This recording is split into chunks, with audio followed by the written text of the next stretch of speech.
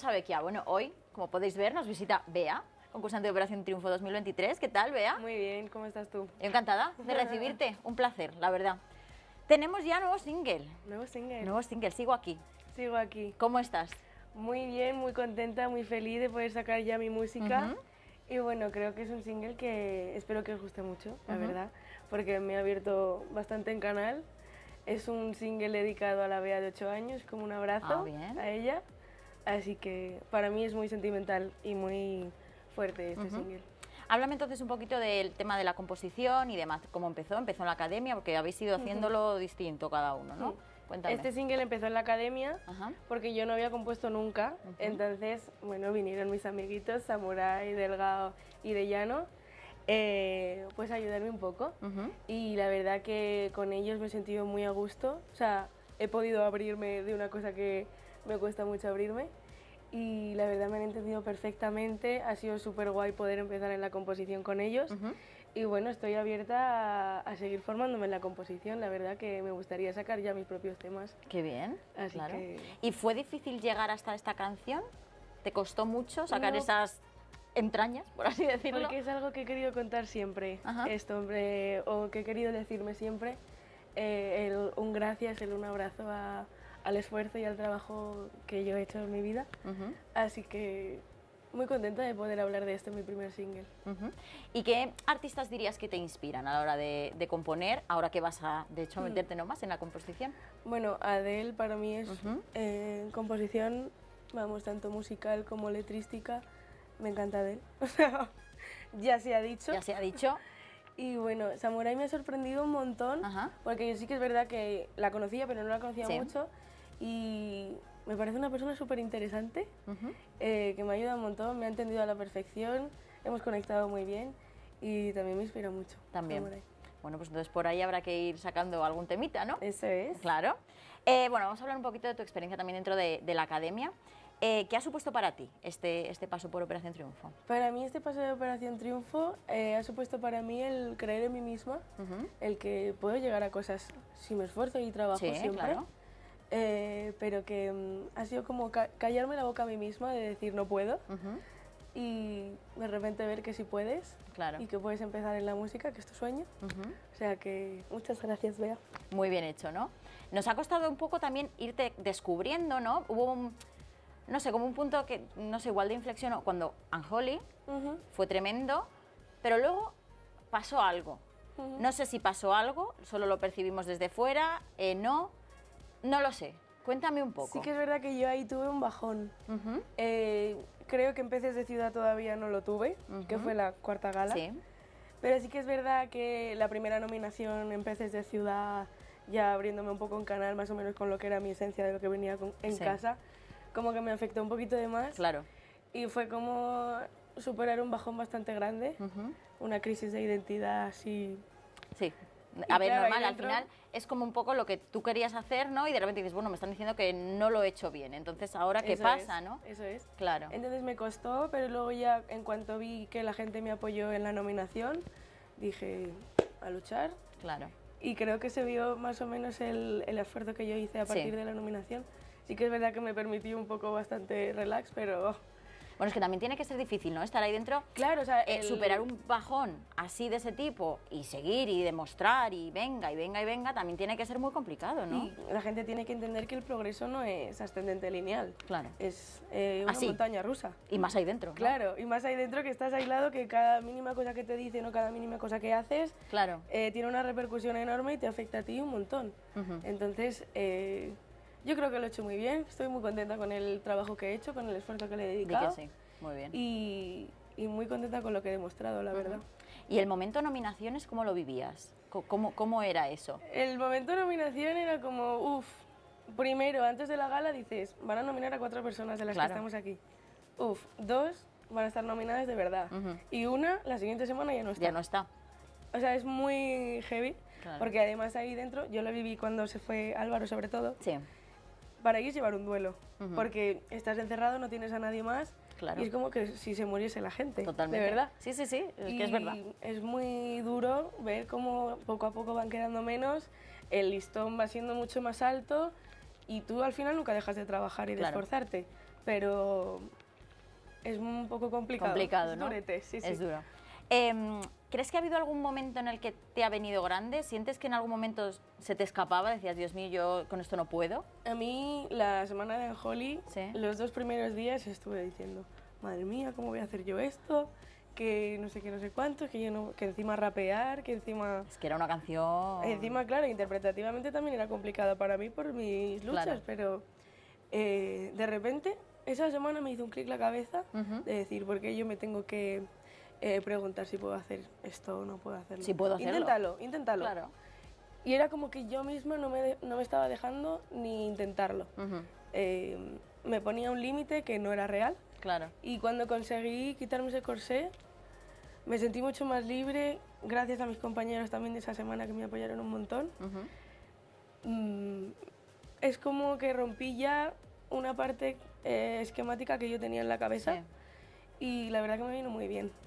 Sí, sí. Desde luego que sí. ¿Y mm, te sentiste cómoda en general con las canciones que te fueron tocando? ¿Y en, y en la academia también? La verdad que yo creo que tengo muy buen repertorio de galas. La verdad que has cantado temazos. Sí, sí, la verdad que me han dado muchos Temazos, temas temazos. buenos.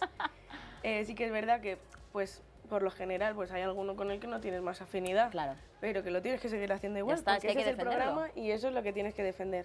Ujú. Entonces, eh, se puede hacer más duro o no, pero yo estoy súper contenta con las canciones que me han tocado, Ujú. de verdad. ¿Y mm, te quedaste con ganas de hacer algo en el programa que no hayas hecho? ¿O de que hubiéramos descubierto algo que no hayamos descubierto de ti? O... Mm, Descubierto no creo, porque creo que en el programa he sido muy transparente y si no me has visto cantar algo en las galas, en el directo me habrás visto Total. cantar otro tipo En el directo de ya cosas. os hemos visto hacer de todo, Ya, claro. de todo, hasta volteretas. Cuidado. Y eso, obviamente yo eh, me quedé con ganas de cantar en la final la de I'd Rather Go Blind de Ujú. Eta James. Pero bueno, estoy muy contenta con mi paso por el programa y la verdad que también me vino muy bien salir en la semifinal porque a mi cabecita ya estaba... Ya estaba un poco que Loca. socorro, cucú, Sí, ¿no? bueno, bueno, bueno. Precisamente me hablas de esto, de las puertas de la final, ahí te quedaste. ¿Cómo fue ese momento? ¿Qué, qué sentiste? Pues yo sentí... Que igual ahora me dices alivio. Porque sí que es verdad, ¿eh? Sí que claro, es verdad. Claro. Eh, cuando te dicen la noticia es como que te quedas en shock. Llevas ahí dos meses y medio. Claro. Es como que no ves un final. Claro. Y claro, aunque fuese el final, en la final misma, pero es como que no ves un final a que esto se acabe. Ujú. Y como que sí que disfrutas de ello porque no hay que forzarse a disfrutarlo tampoco. Ujú. Pero es como que sientes que lo vas a tener porque son tres meses. Claro, es muy Son- largo, ¿no? Eso, Claro. cuidado.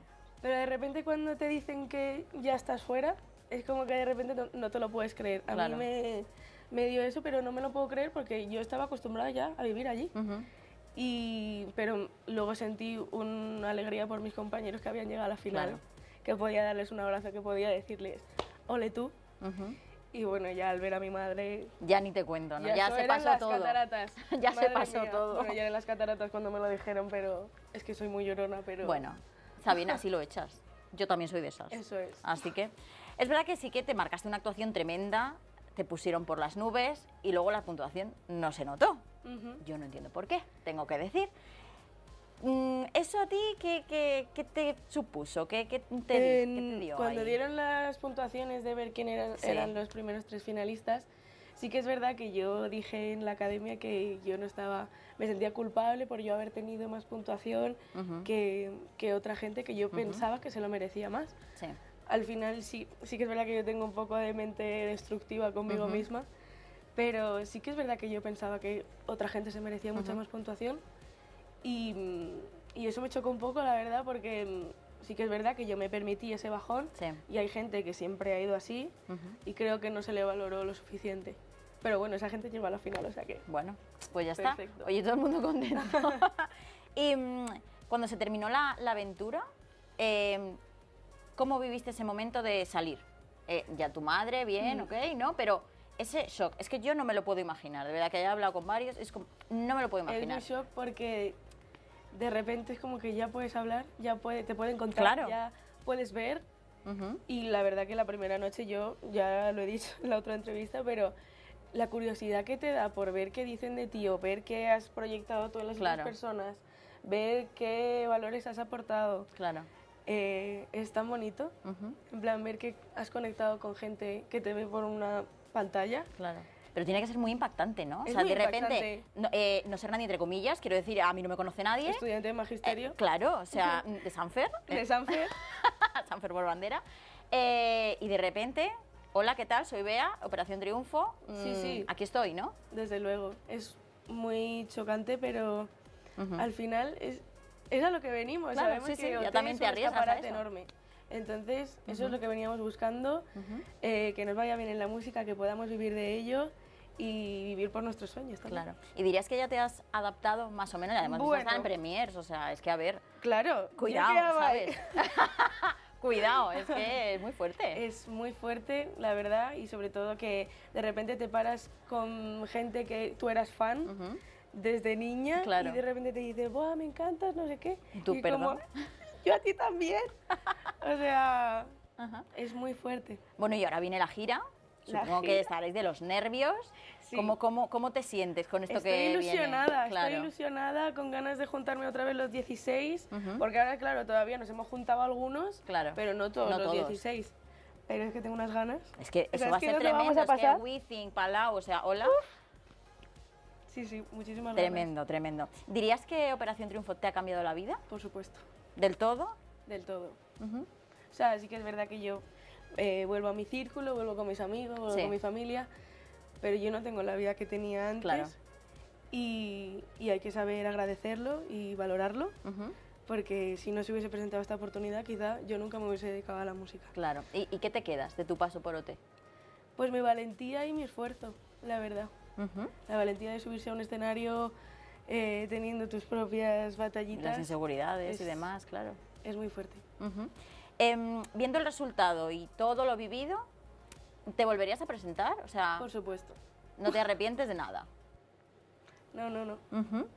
¿Y mm, alguna colaboración soñada que tengas ahí que Con digas, "Buah, Álvaro Mayo. me encanta, pero esa puede ser. Sí. Así una un poco más lejana, porque Álvaro, si le preguntamos, seguro que también me dice contigo. Sí. Claro. una así que Eh, digas, buah, mi gran pues, sueño. Con Adele. Con Adele. Un ¿Cómo pedazo se- de baladote. ¿Cómo sería con eso? piano. Buah, buah, tremendo. Increíble. Venga, pues ya para, para terminar, cuéntame cómo ves tu carrera. ¿Qué, qué, qué- cómo la enfocas? ¿Qué, qué quieres? Cuéntame un poco. Todavía tengo que descubrirlo Ujú.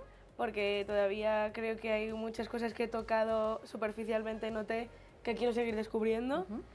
Eh, pero lo que sí te puedo decir es que tengo muchas ganas de descubrirme, de descubrir qué quiero contar, Ujú. de descubrir más música, formarme musicalmente más, formarme letrísticamente también y con muchas ganas de trabajar, la verdad. Pues estupendo, pues todo el mundo a escuchar, sigo aquí Eso es. y cuando tengas más cositas aquí te esperamos. Muchas gracias. Siempre vas a ser bienvenida. Muchas Gracias. gracias.